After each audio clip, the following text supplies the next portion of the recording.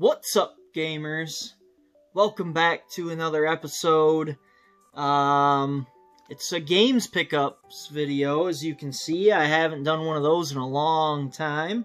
And uh, I just kind of wanted to do a, a pickups, a uh, what have I been playing, and uh, maybe give you some scores or some ideas of some recent games. I know 2020 has been kind of crazy. Uh, not much game releases, especially from Nintendo. So it's really a good time to just really kind of recap 2020 as we go into like Cyberpunk 2077 and some of these other uh, big releases to finish out the year, and then obviously the next gen consoles are hitting. Um, so it's just good. It's just a good time to really go uh, and let you guys know stuff that might that has come out recently that might be good to play, and what I've been playing and enjoying, and then uh, what I've kind of found lately. Um, first, as you can see from the picture, uh, a surprising pickup, or a surprising thing of 2020 was Ring Fit Adventure. So, this is for the Nintendo Switch. It's uh, it's one of those like workout exercise games. And what's interesting about this is that all of a sudden during COVID sold out and you couldn't buy this thing at all.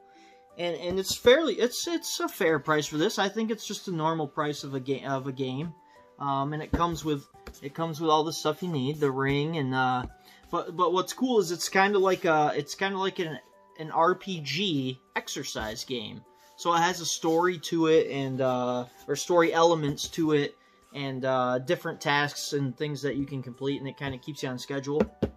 This is surprisingly, because uh, you know the Wii, the Wii had Wii Fit back in the day. This is actually surprisingly a fairly uh, fairly good workout. I, I, I mean, and it has you do exercises and stretches and yoga poses and um, I mean, for the money and for something to kind of do, especially if you want to keep the kids uh, staying active and they want to play video games, this I would say this is a good buy for the holiday for sure. And uh, and I would actually I would actually uh, give this like a good eight nine out of ten on this. Nintendo did a really good job on it actually. Um, so then as we move on, I think I'll kind of just stick with Switch stuff, and then we'll go into the other stuff. Uh, here's the Ring Fit. So it does come with an actual Nintendo Switch game, uh, physical game too, as I can put up on my Switch shelf for collection. Um, we'll stick with Switch because I have a couple. There has been some releases. I at first I want to I want to show you guys this uh, this uh, super rare uh, pre-order that I did that showed up recently. Super Rare Games sent me a couple stickers with this, but what's really cool about this one in particular is it's uh, it's called the Steam World Collection. And these, uh, I think these were like PC type games that came to the Switch, and uh, I really had a good time with Steam World Dig and Steam World Dig 2. I have not played Steam World Heist. This is the new one. Uh, but Super Rare decided to create like a double pack of these, and if you pre-ordered and bought this one, uh, the double pack came with all three Steam Worlds, as you can see on the back. Steam World Dig, Steam World Dig 2, and Steam World Heist. Super cool. Has, uh, this is kind of how it is. It slides out the bottom, and then uh, Steam World 2 is uh, included with that one there. And uh, these are super fun, uh, like, uh, what, what do you what do you want to call these games? Because because Steam World Heist is a little different than the SteamWorld Dig games. They're like a platforming, like mining adventure game. Uh, so it's it's pretty cool. And then uh, obviously in their uh, super rare, cool fashion, they send you like a thank you card, and then uh, they sent like some cards, collector stuff there with that. Uh, I recently picked up a game I've still yet to play, um, but I really wanted this because uh, particularly on the Switch, uh, and Best Buy had it on sale one day, is a Shovel Knight Treasure Trove. And what's cool about this, I haven't really played any of the Shovel Knight games yet, is that it comes with all the Shovel Knight games included on here. And uh, in a physical version, and obviously as you guys can see here, that I am a physical collector of video games, so this is a very good uh, opportunity to pick up a Shovel Knight collection on Switch if you can find it. Especially during the holiday, because I have a feeling this will probably continue to be uh, around the $30 mark or so. And uh, again, another like platforming type, uh, old school graphics uh, type game. And uh, they did come out with uh, Shovel Knight amiibo figures for Nintendo, so Nintendo's pretty much on board with Shovel Knight. And uh, it would be super cool to see him added to Smash.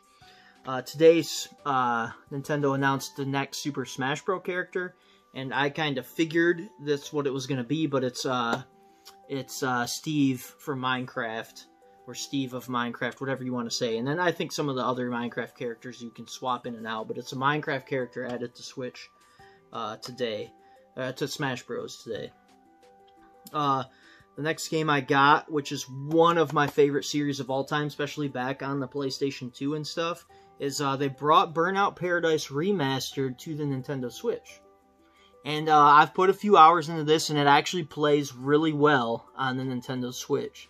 So, uh, super fun uh, time with this game. Uh, typical Burnout Paradise, but it's kind of open world, and you drive around to find your missions and stuff like that, and races. So, uh, uh, good game. They did a good job on this, bringing this to the Switch, and the graphics are actually pretty good, and it plays really well, actually. Um, and then the last Nintendo Switch thing I've kind of been doing. I know today also dropped the uh, the Mario 35th anniversary like uh, versus game or whatever. I'm gonna download that after I uh, finish this video. Uh, but obviously the big thing everyone's talking about is Super Mario uh, 3D All Stars. I did a reaction video to it on this channel. You can go back and look at that.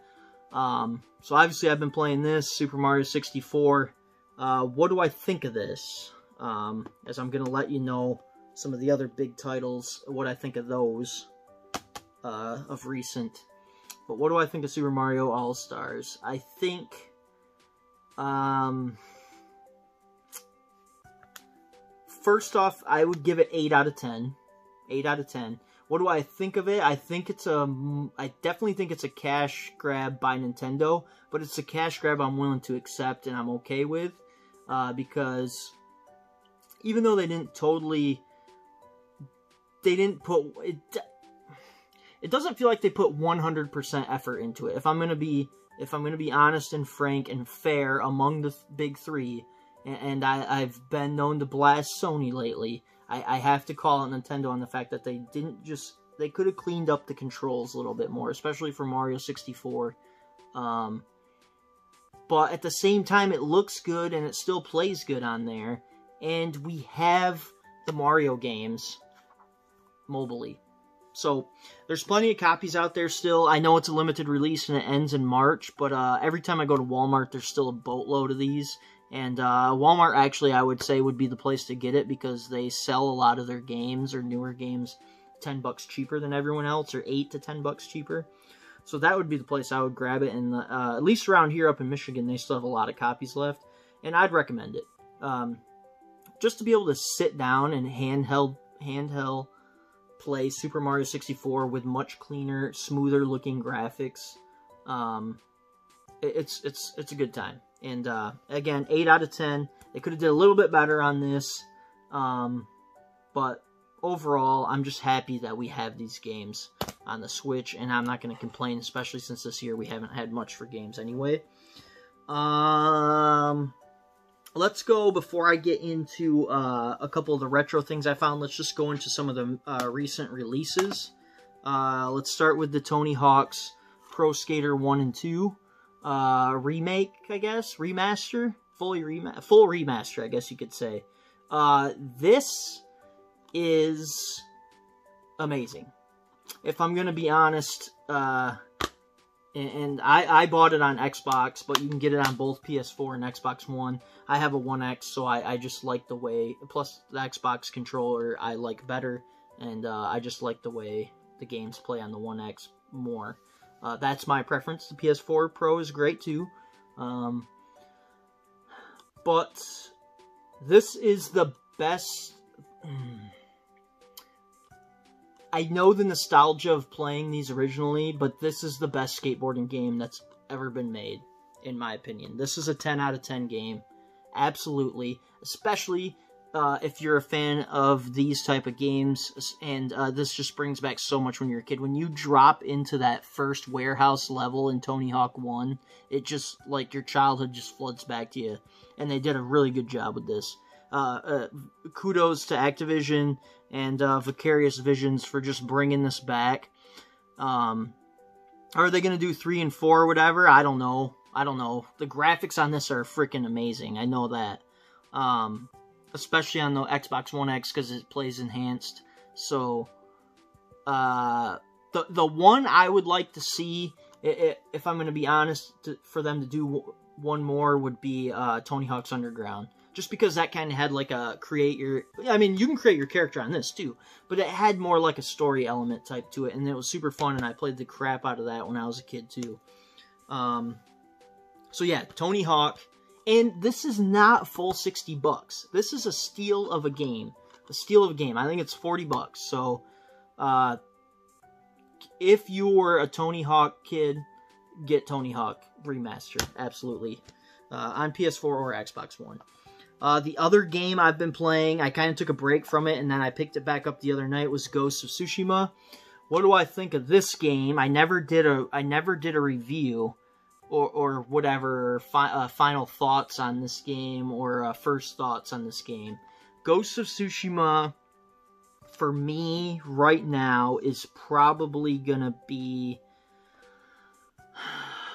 uh, th this is a 9 9.5 out of 10 th this is almost a perfect game. There's a couple little things i don't like but uh, uh, aside from that uh, it's got the perfect amount of difficulty mixed with a stunning graphics and uh, it really pushes the ps4 pro as well. Not quite as much as the last of us 2 but just in general this plays better. Uh, the story and the lore i like better. Um, ga game of the year right now, to me, the game of the year candidates uh, are going to be this game, uh, Doom Eternal. Probably they're going to put in Nintendo's Animal Crossing. I, I, don't think it'll win, even though it was the most popular game this year and sold. It, let Nintendo break the Nintendo Wii uh, records on Switch sales. Um, so those three, and then um, I I think I know we haven't got to play it yet, but Cyberpunk 2077 will probably be one of the top games, and then probably The Last of Us Part 2. I just think The Last of Us Part 2 is too divided, uh, and, and I don't think that will be Game of the Year. I think Game of the Year, honestly, at this point comes down to Ghost of Tsushima and uh, Doom Eternal at this point. We'll see what Cyberpunk 2077 has to offer, and from what we hear, from what I read and hear, it's pretty epic and pretty amazing but we'll see. Uh, this just kind of feels, especially off last year, how the Sekiro was kind of the shocking game of the year. I kind of feel like this or Doom will end up being game of the year. Um, the other game I've been playing, and I did a big unboxing of it, was the, of the Avengers game because Square Enix sent mine over early. Uh, this game, this game is a good idea. They did it's it's it's a good idea. Were they kind of lazy on making it? Yes, absolutely. I can admit that. Uh, is it awesome to be able to play as the Avengers? Yes. Do you play it as them enough? Probably not. Uh, but the story in this is actually pretty compelling. Um, but it's too short and there's too much frame rate, not frame rate, but there's too much like loading issues and stuff. So, and a lot of cutouts and funky things happen in it. Uh, the idea is good. Apparently, the microtransactions bugs people online. I haven't ran into any of that kind of uh, kookiness or whatever because I don't really, I wasn't really planning on playing it online. Um, but for me, that's a 7.5 out of 10. 7.5 out of 10. Good idea, good concept, good story. Uh, just a lot of funky stuff that uh, they they can probably patch and make it better. But if you're gonna do a game that big with Marvel across the title and Square Enix behind it, I feel like you need to release it at perfect condition. And with so with it being so buggy, and then them kind of like crapping on the uh, beta of it, it's it's like you deserve the 7.5. Uh, but it's still fun. I mean, I'd probably just wait until holiday. I bet it'll be on sale. I see tons of copies of it everywhere. So I would just wait for it to be on sale. Even if you just wait till it's half off, uh, it's worth 30 bucks for sure. 60 and uh, my full collector's edition thing probably wasn't worth that, but uh, it's a cool thing to have, and it ended up coming with a lot of cool stuff, so I'm still okay with it. Next, uh, obviously they started releasing the sports titles again because it's about that time. Madden 21 came out, the new FIFA, and then NBA 2K21. 2K21 is the only one I bought, and there's a reason that's the only one I bought, is because I went and splurged for the uh, Mamba edition. Why? Because Kobe Bryant. Uh, rest in peace. I just really wanted this edition. I have not played it. I have not downloaded it. I know it has uh, some issues. Um, but I figured I would keep my Steelbook uh, thing here sealed. I'll open this up. Uh, I get the Kobe one. I know the standard edition has Lillard on the cover, and then I think like the uh, Xbox uh, Series X and PS5, I think are going to have like Zion on the cover or whatever. But it was worth it for me um, before they were gone, because I have a feeling this is probably going to be a collector's item, is to get the Mamba edition and uh, with Kobe on the front. And uh, I think the Mamba edition on the next gen is going to be him in the 24 jersey, and then uh, the last gen is him in the 8 jersey. And that's just really special to me. He's one of my favorite players of all time. Uh, and uh, it's still shocking that Kobe's not here anymore. And he's not here to see 2020 and see the bubble and everything that's played out with the NBA this season. And I would love to hear his thoughts on uh, all the race issues we've been facing and the Black Lives Matter stuff and his thoughts on LeBron chasing that next title with AD. And uh, just, I don't want to get into a big sports thing. This was just something that I wanted. I know not everybody likes sports games. I know it's not fun to play them uh, year after year when they don't change much, but this one was extra special this year because Kobe. And uh, the cool thing is, what for Xbox, why I got on Xbox is because it is they are going to do that smart like switch or smart transfer, whatever they're calling it, to the Series X. And whenever I can actually get my hands on a pre-order or hands on a uh, console, I'm going to get one, but I haven't been lucky enough. Uh, next, uh, Destroy All Humans. The remake of this came out. Uh, cult classic for sure, absolutely. THQ Nordic. Um, I watched a lot of the gameplay of this. It looks pretty fun. I know it's been out for a little bit, but I just picked it up. Another good steal, another good buy of the holiday. I think this game's only like 30, 35 bucks.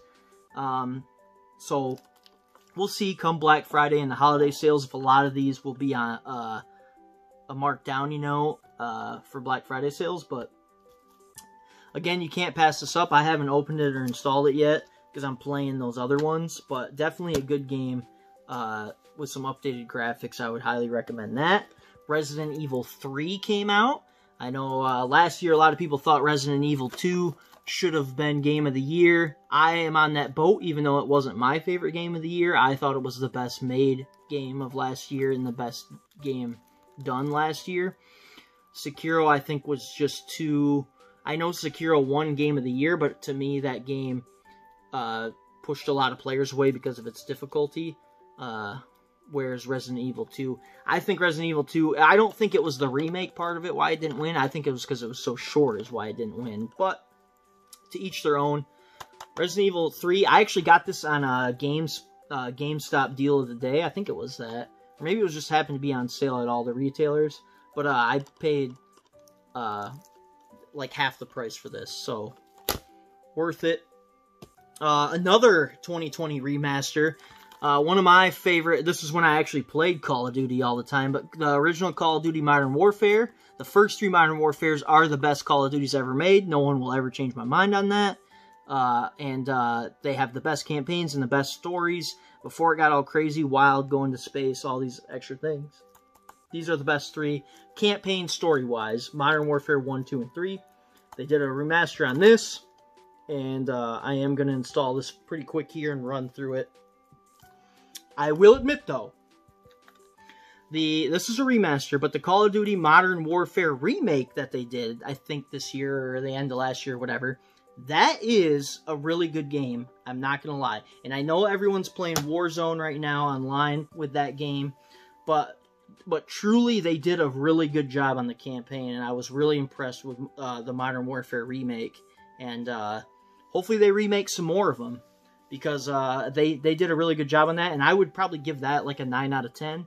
And uh, to me, if we're talking strictly the COD spectrum, Modern Warfare 1, 2, and 3 are all 10 out of 10 games for me. Um, what else here? We got about five more games here on the pickups. I think that's about it. I haven't really gotten anything else. Uh, so we take a quick break here. I've showed you guys the pop figures. Uh, yeah, that's about it. I, I know uh, a lot of new Mandalorian stuff is out. Pop uh, figures, Lego sets. Oh, the Mario Kart. Uh, or my, Nintendo has a lot of stuff coming out, but Mario Kart Home Circuit Live is coming out pretty quick here too. That looks awesome, but I think it's sold out, so you're only gonna be able to pick it up in stores. But uh, the Mario, Super Mario Lego sets are all out now. Those are really cool, and I think a lot of kids will be asking for those for Christmas. They look super cool. If I had more space or a table to set it up on, I would just get them all and build kind of like a level. But I don't really have the space at the moment. The next game, uh, Best Buy kind of started. Uh, Uh, if if you pay attention, this is Nioh 2 if you kind of start paying attention, you'll see that some of the retailers are trying to start to dump some of these PS4 and Xbox One games, which is perfect for us because if you catch it at the right time or catch the online, some stuff is online only and you can do like a store pickup if your local, like Best Buy has it in stock. So that's what I did for these next few. But I got like Nioh 2 for like $9.99. I got like Just Cause 4 like that cheap. I think Just Cause 4 was 99 and Nioh 2 was like 15 and I got Evil Within 2 for like 5 bucks.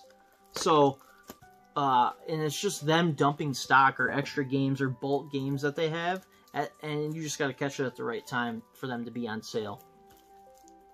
Um have not played any of these three. I know Nioh is extremely hard. I've played Nioh 1.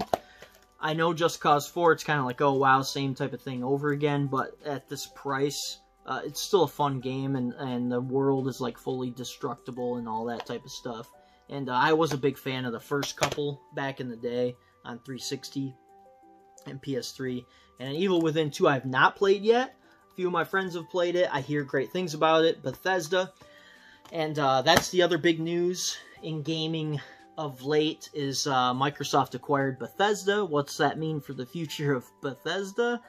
And Bethesda games like Skyrim and stuff, uh, or Elder Scrolls, I should say, um, and uh, Doom games and stuff. Um, am I mad about it? No, I don't care because I'm I am a fan of Xbox. And here here's how I look at it. People complain, or Sony fanboys, I guess. I'm gonna I'm gonna make people mad right here. But Sony fanboys complain that Xbox, all they have is Halo and Gears. They don't have games. PlayStation is where the games are. Xbox is just Halo and Gears, and you have Xbox Live. Ooh, big whoop! And now at the their new thing, their new thing to uh, uh, harp on is uh, Game Pass. Game Pass. Oh, all you have is Game Pass. They'll just put it on Game Pass. For one, Game Pass is a great idea, and they're just upset that Sony didn't think of it first. Next, uh, back to the original point of them complaining Xbox doesn't have games. Well, then when they acquire studios, they complain that uh, that's a bad thing for gaming. Hey, Microsoft's trying to give you exclusives that you say they don't have, so here we go. Will the big titles be exclusive? I don't think so, because Doom and Elder Scrolls makes too much money. Microsoft isn't going to pass that up. I think those will still release on, on uh, all consoles. This is just them being able to have a studio behind them to come up with new first parties titles. That's all it is. Uh, and then the last two were some retro things I came across actually just recently. Uh, Dragon Age 2 on the Xbox 360 for only $4.99 in really good shape. Grab that. And then uh, I picked up the Ico uh, the Ico and Shadow of the Colossus collection on the PS3, remastered in high def. Uh, pretty cool. And uh, I just really wanted that because my my PS3 is probably the smallest collection I have. and uh, I saw this just sitting at GameStop. It was only like $9.99, so figured it was a good deal to have that. And uh, I think that's about it. Uh, I think the next gaming video I'm going to do, I'm going to do some Nintendo Switch stuff because they got a lot of stuff coming out and uh, are coming up. And I think before those titles come, I want to do a, uh, I want to do a top 10 video of the top 10 Nintendo Switch games that are must-owns or must-plays that are not Zelda and Odyssey. So what would that top 10 consist of? You'll just have to watch the next video to see. But, uh, I think until then, guys, I think that's all I got today. Uh, again, go play some, uh, I, I'd highly recommend, uh, Ring Fit Adventure if you got a Nintendo Switch. Uh, get 3D All-Stars before it's gone. Tony Hawk is a 10 out of 10. Uh, Ghost of Tsushima 9.5, probably up for Game of the Year, I would say, for sure. And uh, that's it for me. I'll see you guys in the next episode.